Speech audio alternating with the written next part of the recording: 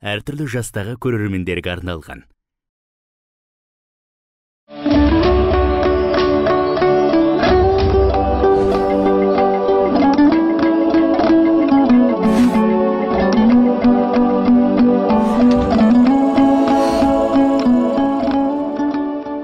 Ассалаумағалейкум. Бұл берекелі шаңырақ бағдарламасы. 2017 жылы түркі әлемдерінің астанасы болған тұғырлы түркістан қаласына жолымыз түсті. Отан отбасыдан басталады және отбасыдан құралады. Осындай тарихи өлкенің өнегер отбасыларының бірі қалдыгүл қажанамызбен және оның шаңырағымен сіздерді таныстыратын боламыз. Берекелі шаңырақпен бірге болып арнамызға уақыттарыңыз ағайын.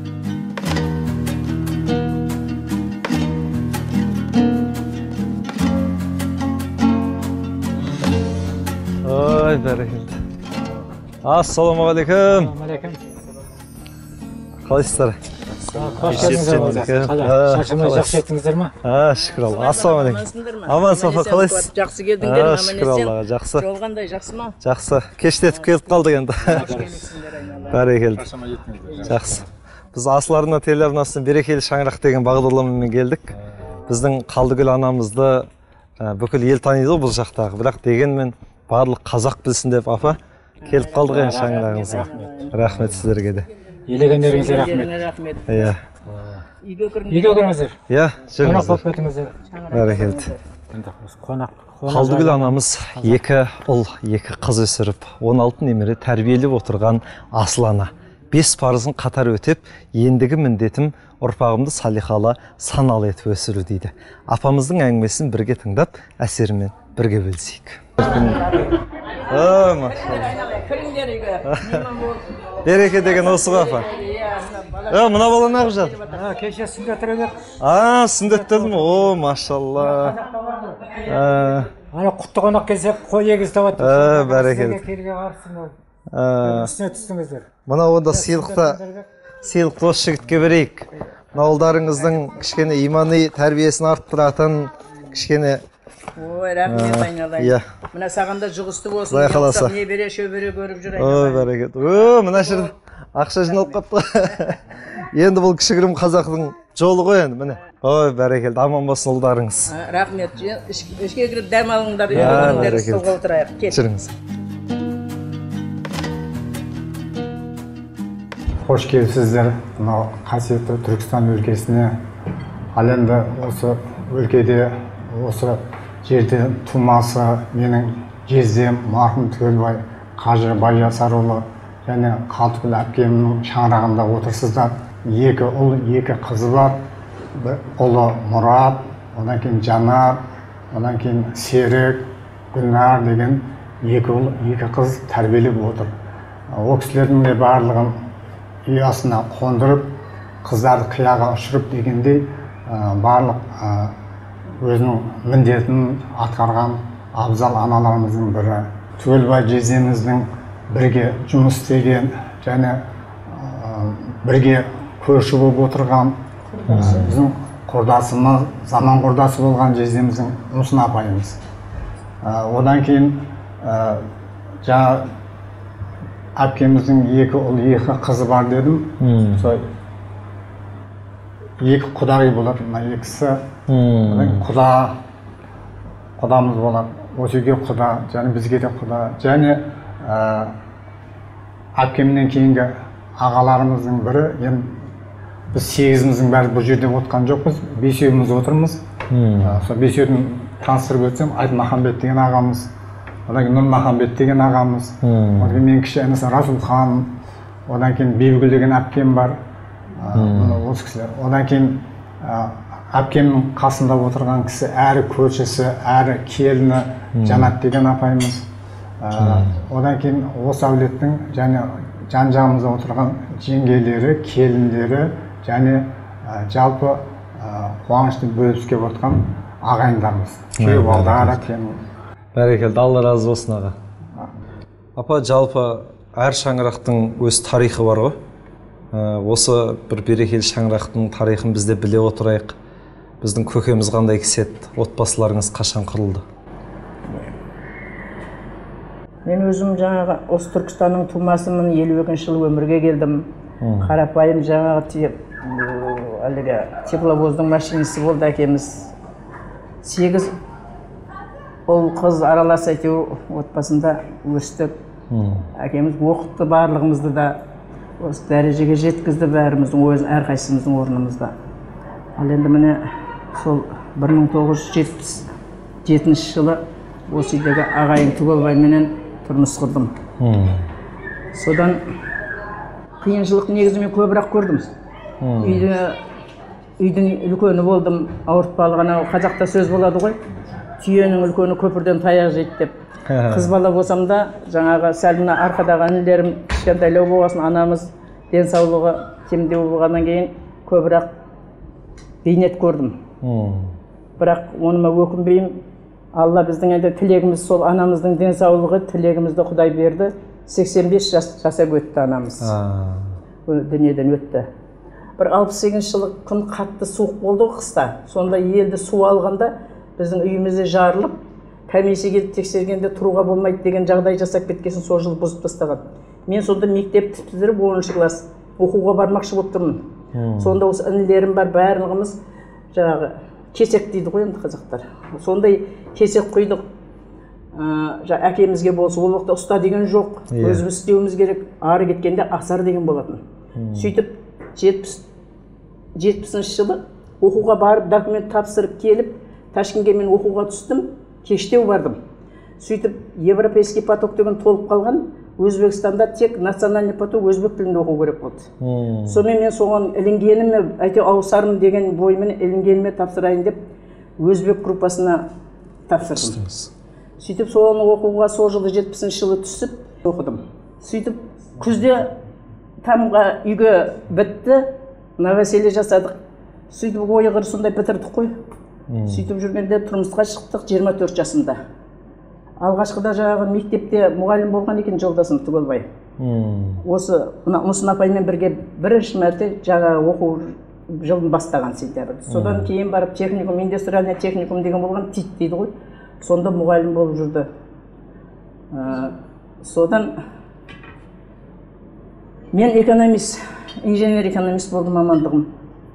Арада железобетонный управление деген болды енді. Қандай темір бетондар құрылысы сонда мен әрі лаборант әрі отка инженер отка деген екі мамандықта жұмыс істедім 11 жыл. Одан кейін барып кейін ол жұмыстар неғып кетті дағы балалы болдық. Мына екі ұл екі қыз болды ғой сол аралықта әйтеуір. Үй салдық осы жерді алып екі үйге екі осы участок үлкен 25 соттық. Екі бала бірге отырсын. Сондағы ойым менде екі бала екі ақ қыз болды біреу біраққа біреу жыраққа кетіп қалса қандай жағдай болады? Қартаятын шығармыз ауыратын сырқайтынымыз бар. Біреу келіп біреу кете ма жүре ма? Балалары бөтен болып кете ма деген ойлар көп келіп жүрді енді әлі қыз да ұл да үйленбеген неғылмаған? Сонымен осы жерді алып бастап сала бастадық. Сөйтіп мұратымды бірінші бірінші осы жанка жанар қызым кетті тұрмысқа. Кейін екі жыл өткесін мұратты үйлендірдік. Одан қалса мына қызым ұлым мына серікті үйлендірдік. Бірақ осы екі келін бірге алты жыл тұрды үйде. Осы үй бітті. Бірақ бармады. Мен рахмет келіндеріме. Өте жаңа бір біріне ынтымақшыл болды осы міне үлкен келінім түскеніне 15 жыл болды. Кіші келінге 9 жыл болып жатыр. Бір біріне сендескен жоқ. Мен соған ырзамын. Сөйтіп міне е құдай алланың бергені көптік қылмай мына төрт екі қыз екі ұлдан он алты немерем бар қазір бәрекелді. Құдай қаласа мына қызымның үлкенінің бірінші курсты бітіріп екіге өтіп келіп отыр алматыда журналист а неден казгудың физматематикасында. Екінші қызы сол барып тапсырып келіп отыр соған. Бәрі грантқа түскен алтын белгіде бітірген. Немерелерімнің бәрі сауатты оқуды жақсы оқиды. А, математикадан мына олимпиадаға қатысып болгарияның медалын алып келді екінші орын алып. Немереңіз? Немерем. Одан үлкен немерем дариға деген мына неде оқиды? Шымкенттегі ә, назарбаев мектебінде оқиды мектебінде оқиды ол да математикадан. Ол барлық олимпиададан бірінші орын алып келіп осы назарбаевқа тоғыз жүз елу балмен бірінші болып республикада бірінші орында болды. Оны нұрордаға да шақырды бармады. Нұрордаға да тапсырған онда да бірінші орын алды. Назарбаевқа біз енді қыз бала анау астанаға суық кішкентай ғой әлі. Алтыншы класс бітірген жетіде қалай жіберемін үлкен немерем үйіндегі. Сөйтіп шымкентке оқытты қазір енді бір жылын бітіріп келіп каникулда жүр. Бәрекелді. Соғыса барлық балаларым жаңа өзіңізді көрдік. Мұсылманша да үйретіп жатырмыз мына әуел құдай алла одан кейінгі мына інім араб сабағынан мектепте мұғалім ғой қазір- қазір де. Сонда сабақ берген алғашқыда расылхан. Осы үш қажы болып келіп отыр ғой енді. Сонда осы інім әулетіміздің бәріне сабақ беріп діни сауатын ашқан. Ә, бәрі арабша әріп әліпбиді жақсы біледі. Біріншіден екіншіден құранды намаз ораза ұстайды бәрі түгел. Ә, қыз да келін де мен ешқайсысына сен ораза ұста сен намаз оқы деген жоқпын. Келіндер де өздері иіліп осы үйдің ығына көне берді намазын оқыды есіктен кірді бәрі болмасам кәдімгі өзіміздей болып жүрген адамдар жастар. Жастар ғой енді майысып жас жігіт болса қалай иілсе үйдегі тірлікті осылар. Осы үйдің несіне кірді ғой. Кісі есігі тоң есік дейді оны ертерге күш керек. Иә. Бұларға соның сондықтан мен енді ене өзім енемнен ешқандай қаттылық көрмедім. Жаңағы енді осы келін алатын болсам мен де осы келіндерге еш уақытта азарлық көрсетпейінші қиыншылық та көрсетпейін. Білмесе үйретейін деген ниет болып сол ниетімді ұстадым. Ә, бәрекелді. Он, он жыл ең кемі он жыл келінге келін болып жағыну керек. Соның ығына көну керек. Ол осы үйдің барлығын әдет ғұрпына кіру үшін көп уақыт керек. Құдайға шүкір немерелі болып жатыр солардың бәрін жағдайын істеу керек. Соған мен ықпал жасадым. Ой ал енді мына қазір енді енені келін түсінбей жатыр ма келінді ене түсінбей жатыр ма әйтеуір. Көп шаңырақ шайқалып кетіп жатыр ғой оған енді. үлкендер жастар жастығын қылады қай уақытта. Үйде олар бары еркін жүрген адам. Кісі өзіңіз барып біреудің есігін ашып нені істей аласыз? Соған соны үйретуге ынталандыра беру керек та? Көрмеймін. Көркем мінезбен жақсылықпен көрсету Иә. керек қой енді жалпы. Иә. Бұзық қойса да көрмеймін түзеп жатса да сенікі дұрыс жетпей жатса қасына қосылып жүре саламын мынаның мынауың не демедім. Өйткені ол бөтен елден келді. Енді соның жақсылығын көріп жатсыз ғой апа? рахмет. соны көріп жатырмын он алты немере енді ә, жақсыдан жақсы туар жарқылдаған дейді ғой. Жалпы жарқылдап шығып жатқан немереңіздің де түп тамыры жақсы болып тұр ғой енді. Иә. алла білуші. бірақ осы түгелбай көкеміз қандай кісі еді қандай мінезді? Мысалы біздің естуіміз бойынша ер мінезді дейді ол кісіні. Ер мінезі болған ол өте орынды. Біздің мұсылманда айтып жатады әйел кісі ер кісіден бір табан бір саты төмен тұру керек дейді. Ол біліп айта ма білмей айта ма бәрібір әйел кісі кешірімді болу керек соған. Түсінбеген жерін үндемей түсіндіру керек оған жауап қайтарып емес. Болады ғой ыдыс аяқ сылдырамай тұрмайды. Еркек олай болады былай болады деп Айту керек. кейде тез көтеріліп қалса үндемей қоя салу керек. Сондай ынтымақ болды кешірімді болдық. Бірақ сенікі дұрыс емес деп ертеңінде де айтпадым бүгін де айтпадым үндемей түсіндірдім.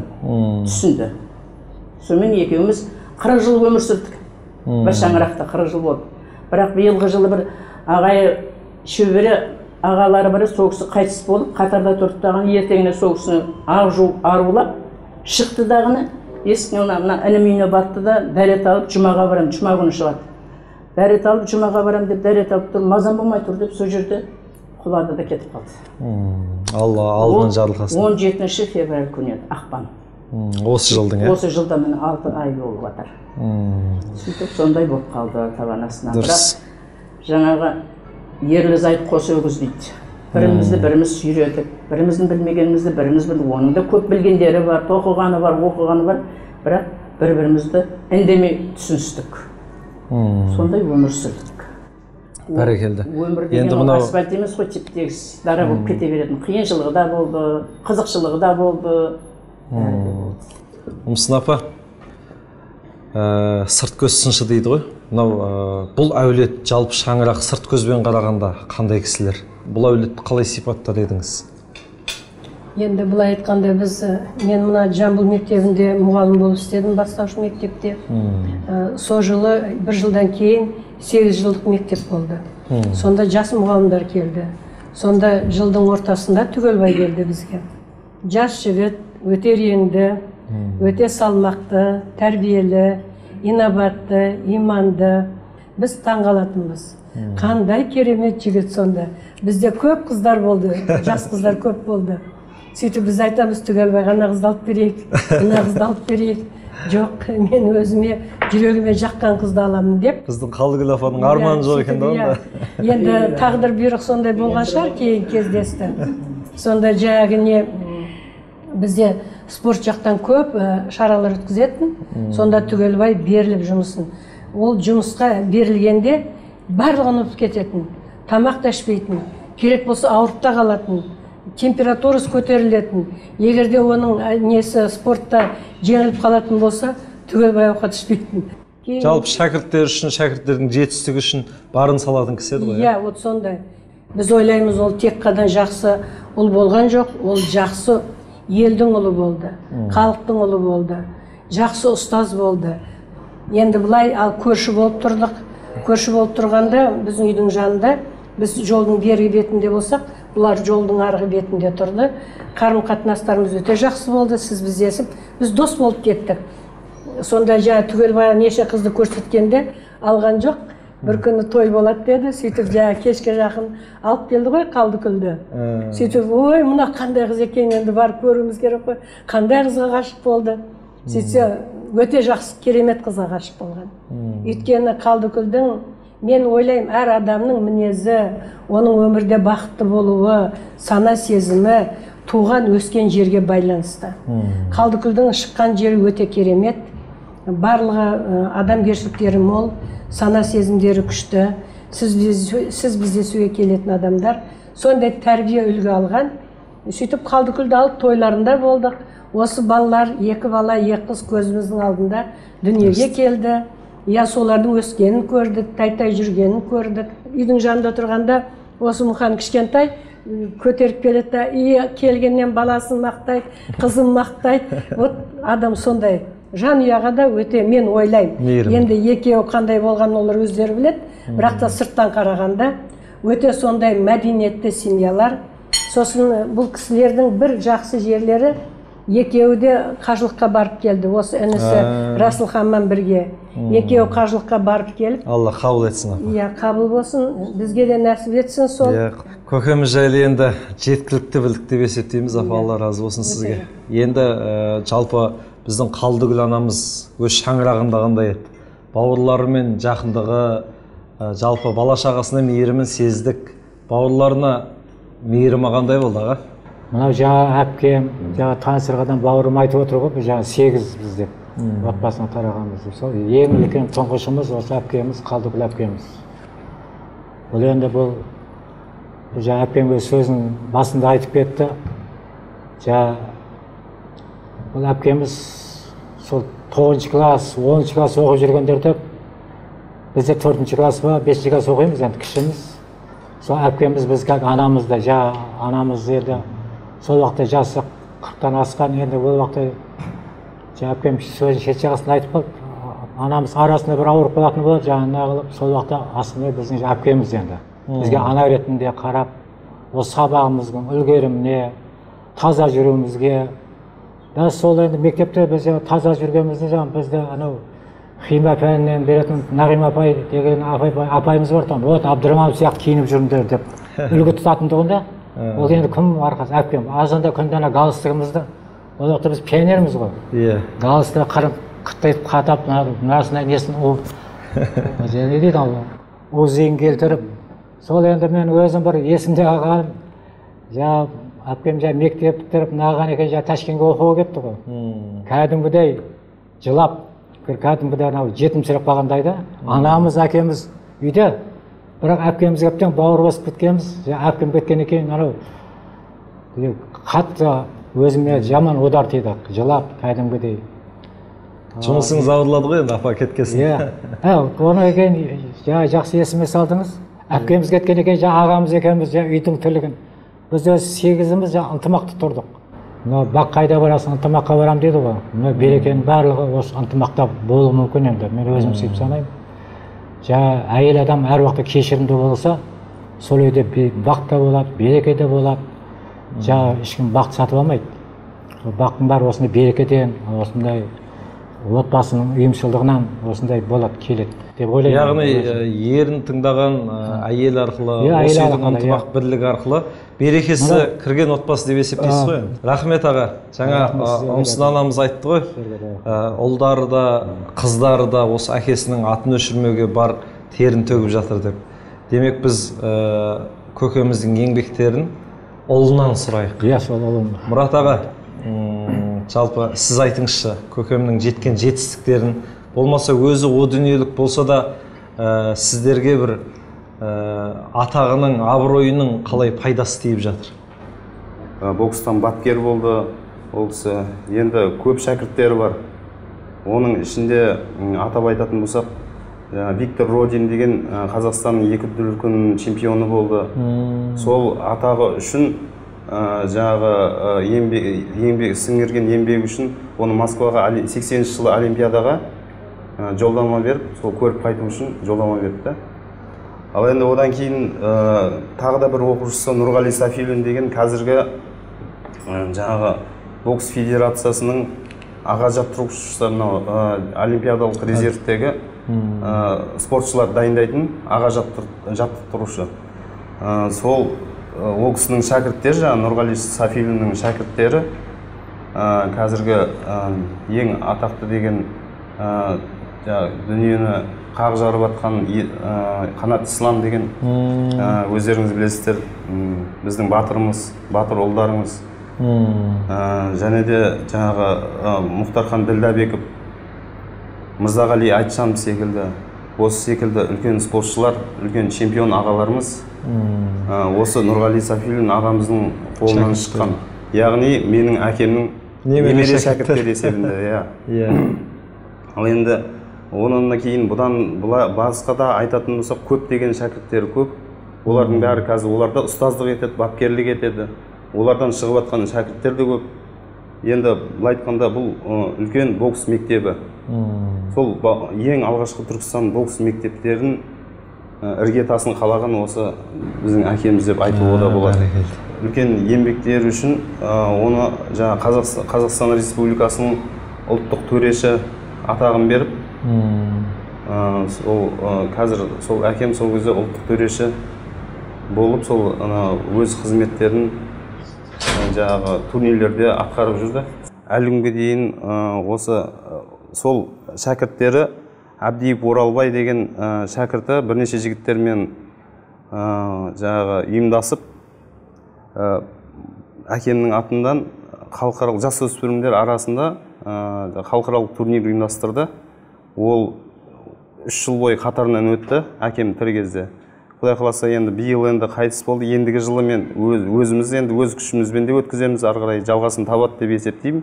Енді сіз ұлы ретінде қандай тәрбие алдыңыз? Не үйрендіңіз көкемізден мен енді ұлы ретінде өзім әкемнің ә, әрдайым еңбекке деген құлшынысын ә, ешқашан ә, былай айтқанда қайсарлығым менің әкем ешқашан да жатып мен ауырым, ауырып жатырмын бір нәрсе ауырмын деп емін естімегенмін өйткені ол әрқашан ә, жаңағы өзі не дейді анау жігерлі күшті адам еді да. Ә, ешқашан жатып қалмайтын тұғын тым ауыратып ауырмайтын. Сондықтан жаңағыдай ә, өзі әрдайым әрдайым дені сау болғаннан кейін біз де соған соған қарап өстік. Мен де спортпен айналысам бірақ енді өзім үшін әрине бір, бір үлкен не емес. Бірақ енді кейінгіде о, балдарымды сол спортқа баулып соған ә, тырысамыз енді барынша. Құдай қаласа ата көрген оқ жонар дейді ғой. Иә. енді қалдыгүл анамыз жайлы не айтасыз мысалы анаңыздан не үйрендіңіз енді анамыз ардақты анамыз осындай біз енді аялап мәпелеп өсірген осындай жетістіктерге жеткізген анамыздың арқамызда деп есептейміз өйткені ана осы шаңырақтың тірегі сол енді анамыз осындай жастайымыздан үлкенді сыйлап м, кішіге құрмет көрсету деген сияқты нәрселердің бәрін тәрбиелеп өсірді. Әкем әрине ер адам енді әрдайым сыртта жүреді ғой. Ол ә, бапкерлік қызметпен сыртта жүрді көбінде. Ә, ол кісі де кейінде соның тәрбиесін аламыз. Ал әрдайым мамам жаңағы анамыз әрдайым үйде отырып көп тәрбие берді бізге. Тәрбие берді. Ә, былай айтқанда қазіргі кәсіпкерлік тірлігімізге де үлесін қосқан осы анамыз негізінде. Жаман болып жатқан жоқпыз иншаллах аллаға шүкір. Мынау шаңырақтың жарығы да берекесі де осы анамыз деп есептейсіз ғой аллаға шүкір. Енді елінің алғысын алып қажылығын өтеп ә, жұмаға дәрет алып жатқан жатқанда өмірден өткен көкемізді алла алдынан жарылқасын. Ә, мынау шаңырақтың жарығы сөнбесін. Ол жарығы деп тұрғанымыз мына қалдыгүл анамыз аман болсын төрлеріңізде жүрсін